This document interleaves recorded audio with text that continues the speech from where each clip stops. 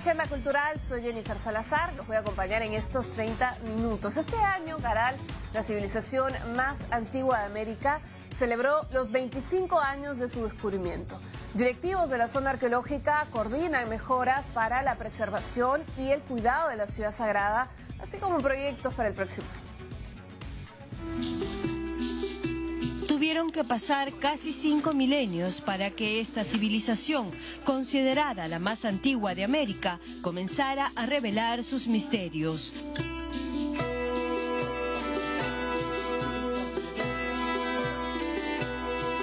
A 25 años del inicio de los trabajos, miles de turistas nacionales y extranjeros llegaron a la zona arqueológica de Caral para participar en las actividades por su aniversario. Me encanta todo el festival, todas las actividades que hacen por el aniversario y ahora más por los 25 años. A través hemos venido de visitas y de nuestras actividades que tenemos con los niños de inicial, pero a celebrar un aniversario más es primera vez. El jefe de la zona arqueológica Caral, Plinio Guillén, indicó que trabajan con el gobierno regional para realizar el mantenimiento de las vías de acceso a este lugar. De Transporte tramitó para el gobierno regional puede ejecutar un, nueva, un nuevo proyecto de, de, mantenimiento. Entonces, en este momento están ya en el proceso de recolección del material para que realicen nuevamente la firmado. Señaló también los proyectos para el próximo año. Y que para el próximo año nosotros vamos a aperturar tres sitios arqueológicos más al público. En la actualidad nosotros podemos conocer Caral, Áspero que está en Puerto Supe, Bichama que está en Vegeta y próximamente vamos a abrir el sitio arqueológico de Peñico que se encuentra en la, parte alta de, este valle, Mira y el Urihuasi que nos van a permitir entender no solo el proceso de Caral, sino estos cambios, esta transición y esta crisis que nosotros hablamos. Los visitantes se mostraron contentos con esta maravilla ubicada en el norte chico e invitaron a más personas a que hagan lo mismo para saber más de nuestra historia. Bueno, y de otro lado, amigos, este año el Ministerio de Cultura reconoció a los ganadores de los estímulos económicos para la cultura 2019. En la ceremonia se premiaron a 348 proyectos, de los cuales 238 provienen de Lima y Callao, 102 de distintas regiones del país y 8 del extranjero. El Ministerio de Cultura premió los proyectos dirigidos a la actividad cinematográfica y audiovisual, artes escénicas, música, libro y la lectura, a través de concursos que contaron con un presupuesto de más de 20 millones de soles. Estos estímulos económicos permiten continuar apoyando proyectos de preservación audiovisual, gestión de salas alternativas, coproducciones minoritarias, preproducciones de animación, pilotos de serie, entre otros. Los estímulos económicos son justamente un apoyo financiero que permite que proyectos culturales y artísticos, películas, festivales, discos, proyectos escénicos, proyectos de exposiciones de las artes visuales se lleven a cabo en diferentes partes de nuestro país. Este año se convocaron 36 concursos a los cuales se presentaron más de 2.000 proyectos a nivel nacional e internacional resultaron ganadoras 348 obras culturales, 238 provenientes de Lima y Callao, 102 de distintas regiones y 8 del extranjero. Hemos ganado el premio con Alaraca de Gestión Cultural Multianual, con el Festival de Cine para Niños, mi primer festival, para la sexta y la séptima edición. Sin él es bien difícil hacer un festival en buenas condiciones. Para las artes escénicas visuales y la música se beneficiaron 77 proyectos a través de nueve concursos. También resultaron ganadores 82 proyectos del sector del libro y la lectura que a través de seis concursos recibieron más de un millón de soles.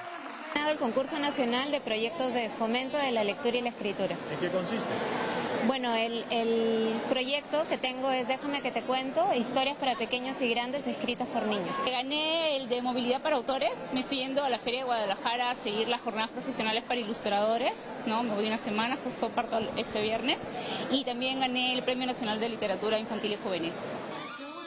La ceremonia se realizó en el Gran Teatro Nacional y el Ministerio de Cultura presentó a todos los beneficiarios. Bueno, la buena noticia es que el próximo año, el 2020, habrá una tercera edición de los estímulos económicos justamente para eso, para fomentar las industrias culturales, iniciativas no solamente en Lima capital, sino también en las distintas regiones del país. Vamos ahora a hablar del Museo Pedro de Osma que presenta la exposición Navidad Barroca, una selección de nacimientos, hayas, cuadros, objetos decorativos que aluden a las Navidades limeñas. Todos los detalles con nuestra compañera Claudia. Hemos llegado hasta el Museo Pedro de Osma para presentarles la exposición denominada Navidad Barroca, Vive la Tradición. Una muestra en la cual vamos a poder encontrar una serie de piezas como nacimientos, cuadros y pinturas que nos van a llevar a revivir toda la tradición y precisamente para darnos este hermoso recorrido tenemos con nosotros al director del museo, Pedro Pablo Alaiza. Muy buenas tardes. Buenas tardes, mucho gusto y gracias por la visita. Bueno, estamos pues aquí comenzando el día de hoy y se inicia la muestra La Navidad Barroca, eh, que viva la tradición. La idea es retomar la idea de cuando éramos todos chicos, que íbamos a los nacimientos de las iglesias del centro de Lima, del San Juan de Dios. La idea es que la Navidad, siendo una fiesta familiar, ¿no? del nacimiento de, Cristo, ¿no? reúna a las familias y salgan a las calles. La idea es que el museo se convierta de pronto en un lugar donde se convoque a las familias, ¿no? podamos ver piezas como esta, que es un nacimiento del siglo XVIII con Jesús, con, San, Jesús, con San José y con la Virgen María, un decorado barroco, ¿no? donde se muestra un poco la, abundancia y también un poco la riqueza de lo que significó el nacimiento de, Cristo, ¿no? Y eh, decorado pues de la mejor manera con, los bienes que tenemos aquí del, del museo en un ambiente realmente muy, muy agradable, ¿no? Entonces el público está viniendo a ver esto, se va a armar todo un programa más adelante con la Municipalidad de Barranco, va a haber un concurso de nacimientos, en fin, esto es una actividad que las parroquias han involucrado, eso ha desencadenado un interés bien bonito, ¿no? Entonces estamos bien contentos. importante recordar al público que son piezas de colección que el museo saca de todo el tesoro que tiene guardado justo por esta fecha. Entonces es una oportunidad también para mucha gente de ver cosas que no se han visto antes. Vos piezas que están guardadas en los depósitos de pronto cobran un, un, enorme protagonismo. Estas piezas fueron un nacimiento del siglo XIX, son eh, santos de vestir, San José y María y el niño. Esas piezas han sido talladas en este, en este cactus que es un, el agave, con la falta de la madera del cedro que venía de, Nicaragua, de otros sitios del, de Centroamérica, se trabajaba materiales nativos, ¿no? que como el, agave o el sisal, a partir de esa talla se tallaba y luego se, forraba con telas y se pintaba encima. ¿no? Estamos, en justamente en la sala de esculturas, ¿no? Eh, donde vemos piezas maravillosas como gran niño, el niño Jesús, San Juan Niño, etcétera. Estamos realmente en un espacio muy bonito de la casa, que es el antiguo salón de baile de la casa de don Pedro de Osma. ¿no? sin duda piezas de colección que la gente va a poder disfrutar en este, en este recorrido que va a estar abierto hasta el 12 de noviembre, sí, 12 de enero. Al 12 de enero, pasada la bajada de Reyes, lo que se queda una semana más, hasta el día domingo 12 de enero, y entonces la gente va a poder venir en los horarios regulares del museo, que es de 10 de la mañana a 6 de la tarde, ¿no? Eh, de martes a domingo, y hemos incorporado desde hace un tiempo a esta parte que los días domingos la entrada para los nacionales y residentes sea de 5 soles. Los niños hasta los 12 años siempre son, vienen gratuitamente invitados al, museo.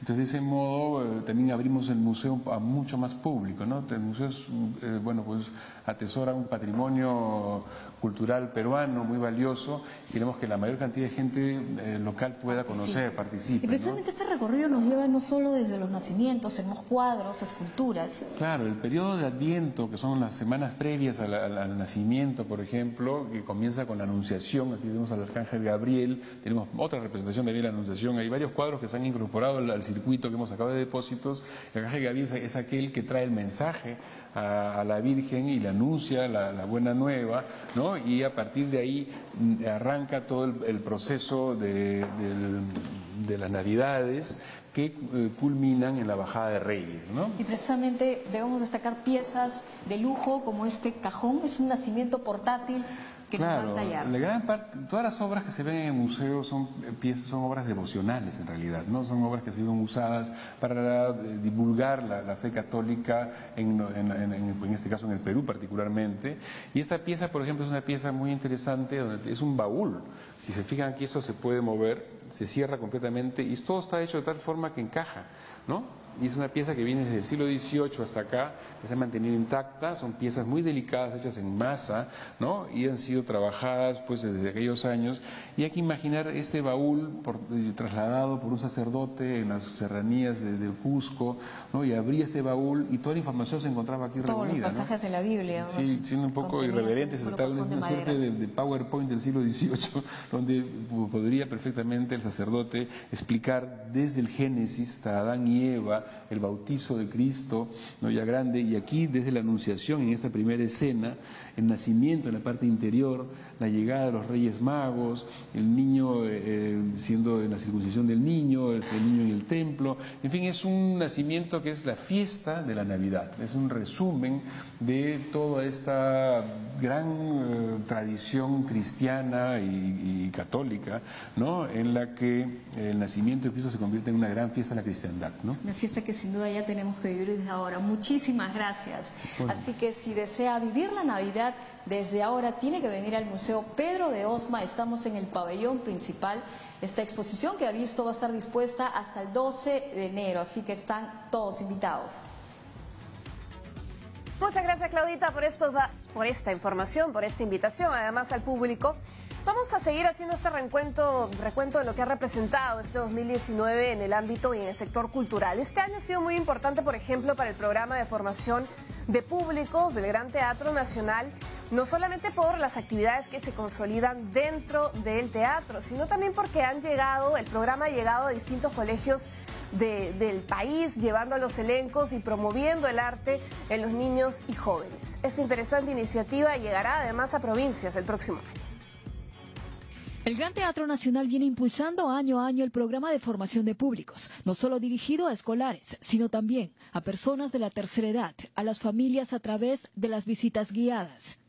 Este 2019, el programa ha implementado la visita de los diversos elencos a los colegios de Lima. El programa no está diseñando talleres de arte, sino lo que estamos haciendo es brindarles la oportunidad a los escolares y también, por supuesto, a los docentes de tener un primer acercamiento con los artistas que, que están desarrollando géneros como, por ejemplo, el folclore, el ballet, la lírica, la ópera, la música sinfónica, que son los géneros eh, que se trabajan aquí principalmente gracias a los elencos nacionales. A través de estas visitas, los alumnos y sus maestros han experimentado lo que significa ser parte de un espectáculo al que muy pocas veces tienen acceso. El próximo paso será llegar a provincias. Tenemos eh, muy buenas noticias. Desde el programa de formación de públicos vamos a llegar a 10 regiones del país llevando la función didáctica de Teatro Trueno. Trueno es una coproducción, es la cuarta coproducción que, que tiene el Gran Teatro Nacional junto con el British Council para hacer funciones didácticas de teatro el Gran Teatro Nacional ha logrado este año no solo ampliar esta iniciativa de formación de públicos con los colegios, sino también involucrar al público en general a través de los conciertos brindados en Afuera Fest, en donde los asistentes vivieron una verdadera fiesta.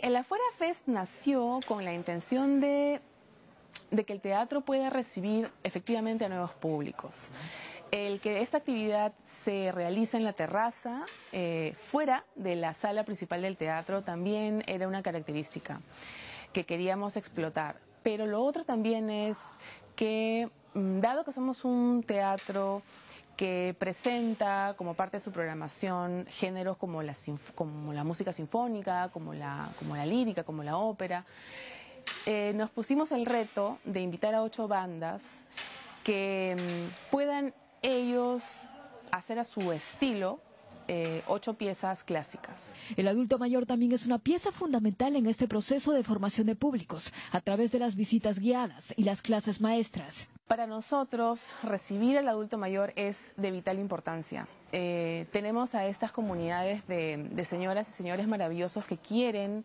tener nuevas experiencias Este programa ha diseñado visitas guiadas también como conciertos didácticos exclusivamente para este público con la intención de tener espacios de relacionamiento con ellos, espacios donde ellas y ellos pueden conocer a otras personas, pero sobre todo es un espacio donde ellos pueden compartir sus experiencias. A partir del mes de febrero del 2020, el programa presentará su nuevo cronograma de actividades, todas gratuitas. Bueno, pues continúa consolidándose el programa Formación de Públicos y a propósito de la Fuera Fest ya se confirmó una segunda edición para este 2020. Además, recuerden que pueden disfrutar de los conciertos todos los sábados a través de TV Perú. Momento de hacer una pausa, regresamos con.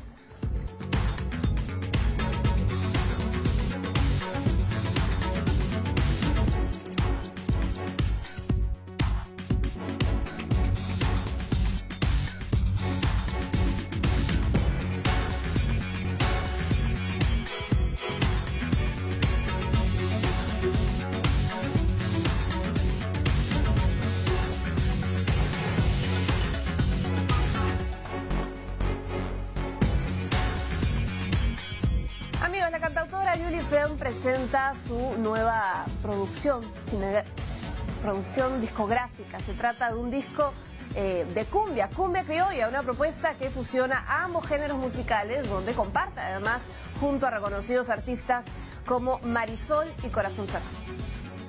Nunca fuiste fiel y me fingiste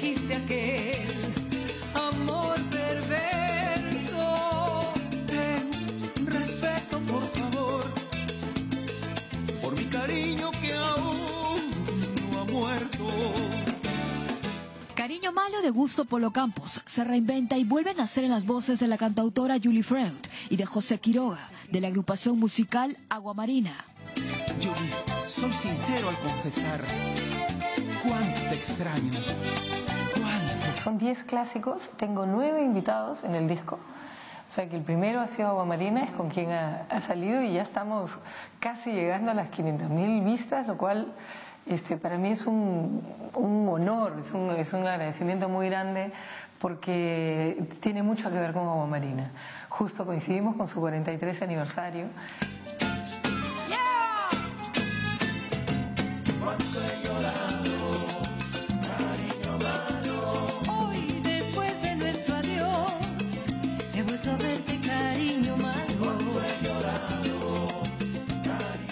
Este es el primer single de Cumbia Criolla, el nuevo disco que prepara Julie Freund. Ella trabaja en 10 temas para su nuevo álbum.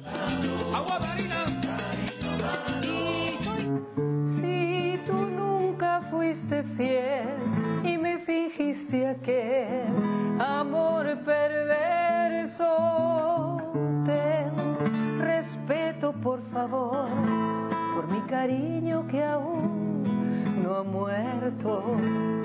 La cumbia es un género que nos ha llevado, ya ha hecho el crossover a nivel de costa, sierra, selva. O sea, es un género que nos une a todos como peruanos, a todos, sí, a todos nos ha hecho bailar y nos hace bailar. Y la música criolla nos permite cantarla, nos permite enamorarnos, nos permite sentirnos orgullosos de ser peruanos. ¿no? Con más de 32 años de carrera artística, Julie Freund se reinventa pero siempre de la mano de la música criolla. Su nueva producción la entusiasma y admite que se trata de un nuevo disco atrevido y camaleónico que nos permitirá verla interpretar clásicos temas de la música criolla junto a las voces de reconocidos artistas de la cumbia como Marisol y el grupo Corazón Serrano.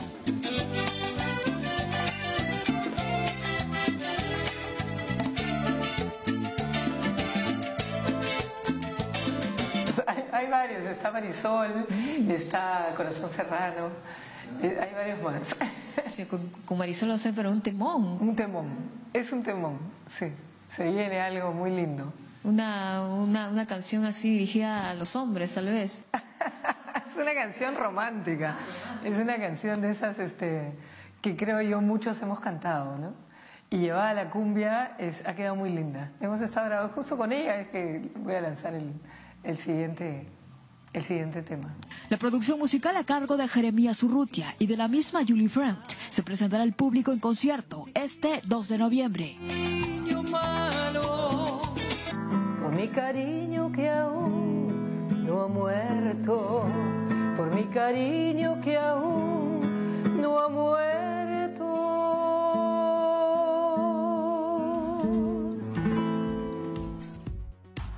Nuestra música criolla vamos ahora con nuestra gastronomía maravillosa. Es momento de compartir con ustedes nuestra secuencia Platos con Historia y les vamos a presentar un plato milenario y emblemático, la pachamanca.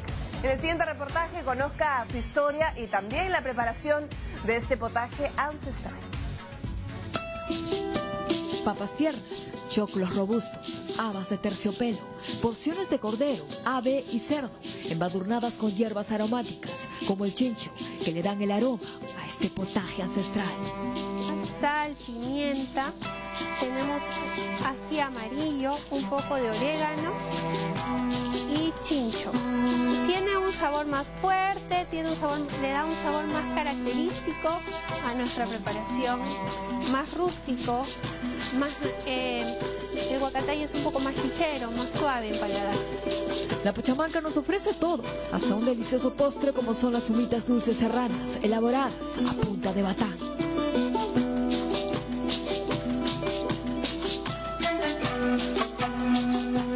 Textura, el espesor, sabemos que una licuadora emulsiona, en cambio en el batán o, en, en el molino no, solamente unimos y los sabores se van complementando. Todos los ingredientes listos, preparados para unirse a la madre tierra.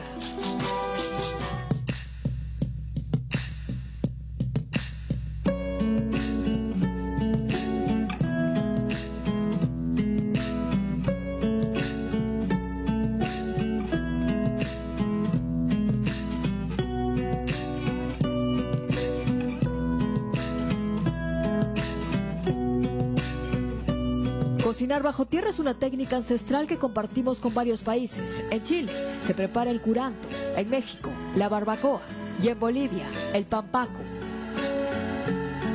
La pachamanca es un plato de origen milenario, un potaje preparado desde la época preinca. En realidad la pachamanca viene de épocas preincas, es una técnica muy ancestral. Las tradiciones, ¿por qué se vienen cultivando época tra- tras época? Porque se usa mucho esta preparación para las fiestas costumbristas. Estas fiestas grandes, muy pomposas, matrimonios, las celebraciones más grandes, estas fiestas que se hacen para los santos también. Generalmente seguimos hablando de toda la sierra peruana. El término pachamanca proviene de las voces quechuas, pacha, tierra, y huanca, olla. Sin embargo, en lengua aymara el término manca significa comida, por lo que un significado alternativo es comida de la tierra. El hoyo que cobija el fruto milenario y ancestral está preparado, pero la madre tierra aún no está lista. Se necesita preparar el hecho. preparar esto. Generalmente las mamás, sobrinas, nietas se concentraban en volver y a moler las humitas y conversábamos y era todo un conversatorio y un aprendizaje. Mientras que los varones picaban el horno o derrumbaban el horno y hacían la parte fuerte.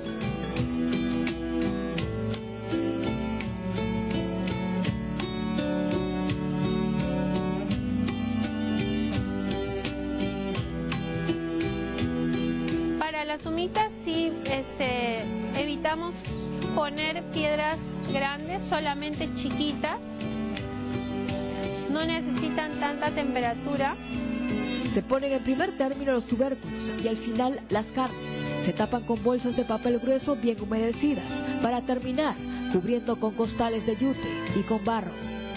Ya para finalizar vamos a proceder a tapar nuestra preparación que más o menos vamos a dejar 40 minutos bajo tierra. Empezamos poniendo las mantas.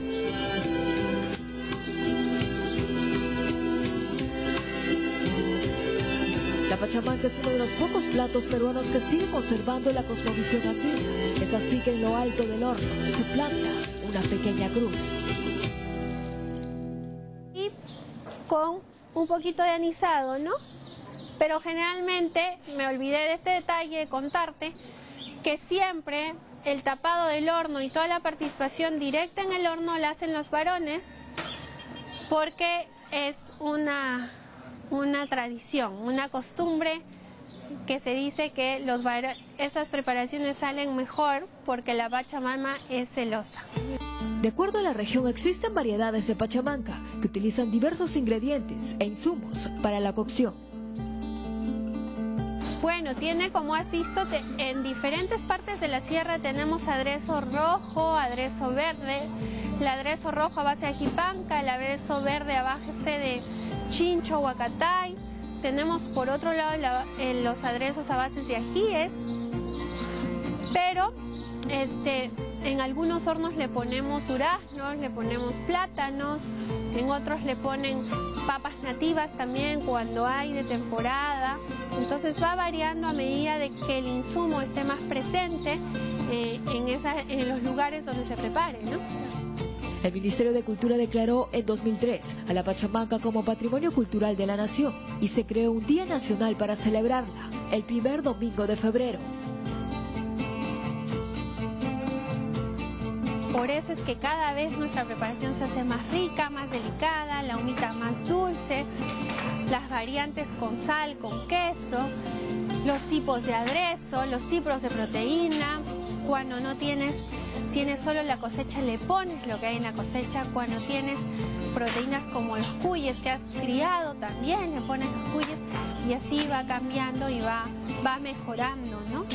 Tiene una costumbre muy, muy bonita porque es, unifica la familia, unifica las comunidades, unifica hasta nosotros como empresa, porque generalmente las personas que hacen la preparación el antes son las señoras que muelen, hacen la humita, lavan las papas, muy cuidadosa. Festivales, concursos, ferias a nivel local y regional o un fin de semana familiar. Siempre hay pretexto para comer este plato ancestral que sigue uniendo a los peruanos en torno a la madre tierra.